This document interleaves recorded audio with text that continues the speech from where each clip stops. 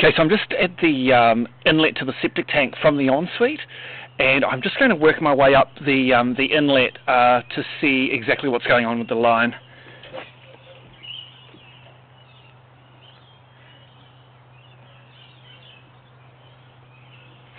Okay, so to begin with, it looks like the line is actually uh, it's actually quite misaligned from where the from the connection. Yeah, so we're oh yeah, that's that's quite badly misaligned.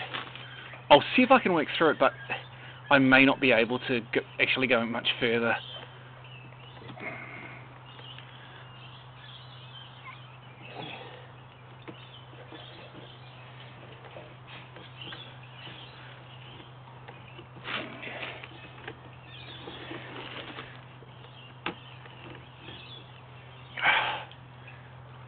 Okay, it's not actually wanting to push further. I'll just see if I can jet rod it and get the section clear, and then hopefully I can go further just to make sure that the rest of the line is okay also.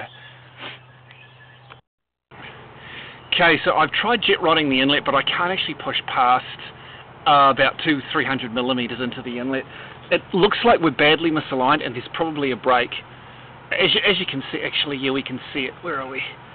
So you can see it right there. There's a build-up of dirt that looks that looks like a build-up of rubble and dirt.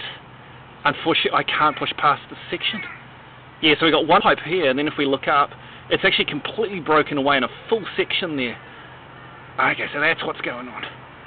Okay, so basically all this pipework near the inlet, within a metre to the inlet, would have to be dug up and replaced. I'd probably recommend if we're going to do that much work that we actually um, turn the toilet into a P-trap and actually replace the entire toilet line. And uh, we can join in, uh, yeah, that, that, that would be what we would need to do.